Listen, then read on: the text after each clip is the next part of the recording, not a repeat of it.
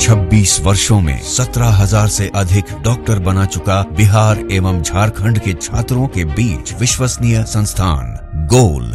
खबर आ रही है उससे कई गुना ज़्यादा लोग जहरीली शराब के जद में आए। तो बड़े पैमाने पर हो गई है इसलिए सरकार के लोग भी इसको नहीं छुपा सकते थे। इंस्पेक्टर अपने कार में 100 कुछ लीटर शराब लेकर घूम रहे थे। जब जाँच की गई पकड़े पकड़े गए तो बोले हम अपने विवाह शादी विवाह फ़ंक्शन में ले जा रहे थे। अधिकारी जो चाह रहे हैं अधिकारी को तो जनता की अदालत में नहीं जाना है। इसलिए वो अपना खजाना भरने में लगे हैं और राज का हर तरह का विधि व्यवस्था से संबंधित हो तब आप देख रहे हैं रोज हत्या लूट बलात्कार हो रहे होम डिलीवरी हो रहा है। नमस्कार न्यूज़ फाउंडेशन देख रहे हैं आप। मैं हूँ आपके साथ धीरज सिंह। छपरा और सिवान में जहरीली शराब के कारण 30 से अधिक लोगों की मौत हो गई है। हमारे साथ है बिहार सरकार में पूर्व मंत्री और आरजेडी विधायक इसराइल मंसूरी साहब। सर कैसे देखते जो खबरें आ रही हैं? जिस तरह की घटना हुई जहरीली शराब के कारण 30 से अधिक लोगों की मौत हो गई क्या कहेंगे पहले तो? देखिए तीस ही नहीं जी। ये तो प्रशासन के द्वारा पुष्टि की गई है। जी। लेकिन जो खबर आ रही है उससे कई गुना ज़्यादा लोग जहरीली शराब के जद में आए जी।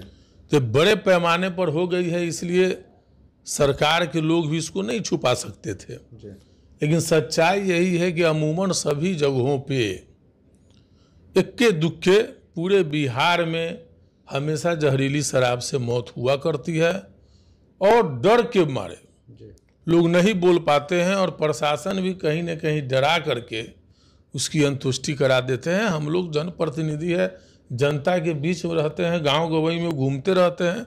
हम लोगों को आइडिया है। यानी कि शराब का जो बंदी का जो कार्यक्रम है हम किसी पर आरोप नहीं लगाते हैं। जी। शराब बंदी नशा मुक्त बिहार हो समाज हो अच्छी बात है। लेकिन सरकार का इकबाल खत्म है। माननीय मुख्यमंत्री जी ने शराबबंदी कार्यक्रम लगाया। हम उनके मनसा का हम ये नहीं करते हैं। लेकिन बिहार में शराबबंदी सफल नहीं हुई। अवैध हज़ारों करोड़ का काम हो रहा है। लोग शराब पी रहे हैं होम डिलीवरी हो रहा है। उनके भी दल के चाहे एनडीए के तमाम नेताओं के द्वारा लगातार बोली जा रही है जितन राम मांझी भी बोले हैं संजय जायसवाल जी भी बोले हैं जगन्नाथन सिगरीवाल जी का भी कहने का तत्व हम कल सुन रहे थे। और ऐसे लोग तमाम लोग हमेशा बोलते रहते हैं कि शराबबंदी विफल है तो क्या कारण है?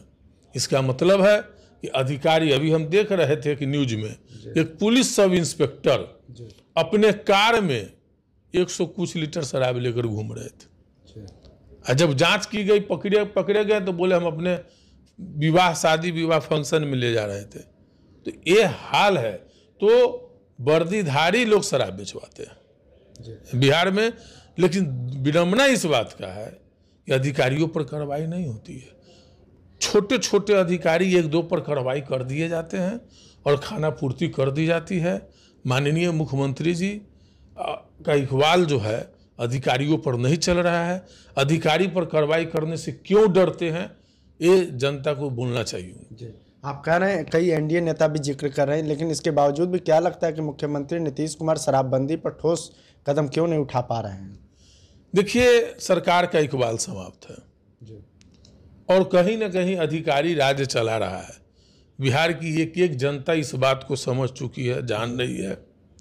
अधिकारी जो चाह रहे हैं अधिकारी को तो जनता की अदालत में नहीं जाना है। इसलिए वो अपना खजाना भरने में लगे हैं और राज का हर तरह का विधि व्यवस्था से संबंधित हो तब आप देख रहे हैं रोज हत्या लूट बलात्कार हो रहे होम डिलीवरी हो रहा है। यानी किसी भी स्तर पर बिहार में प्रशासन नाम की कोई चीज़ नहीं दिखाई देती है। जी। तो क्या लगता है कि, कि प्रशांत किशोर उनका कहना कि शराबबंदी जो है पूरी तरह से फेल है शराब को ही बिहार में खोल देना चाहिए कि आरजेडी इसके पक्ष में है क्या? नहीं देखिए सत्ता राजा का इकबाल से बहुत फ़र्क पड़ता है। हम लोगों के नेता आदरणीय तेजस्वी प्रसाद यादव युवा है युवा नेतृत्व है। बिहार के लोगों ने 2020 में भी उन पर भरोसा जताने का काम किया है। और आने वाले समय में निश्चित तौर पर समाज हित में बड़े फैसले होंगे। और जितने भी आप देख रहे हैं भ्रष्टाचार जो चरम सीमा पर हो गई है अफसरशाही चरम सीमा पर हो गया है किसी जनप्रतिनिधि को कोई सुनने वाला नहीं है। और लगातार लूट हत्या बलात्कार हो रही है तो कहीं ना कहीं राजा का इकबाल खत्म हुआ है। जिस दिन युवा के नेतृत्व तेजस्वी प्रसाद यादव आने वाले समय में बिहार का मुख्यमंत्री होंगे सब कुछ अच्छा हो जाएगा ये पूरा विश्वास है। शराबबंदी समाप्त हो जाएगा। शराबबंदी समाप्त होगा हम लोग तो शराबबंदी खत्म समाज से उठ जाए। ताकि शराब नशा समाज का नुकसान करता है।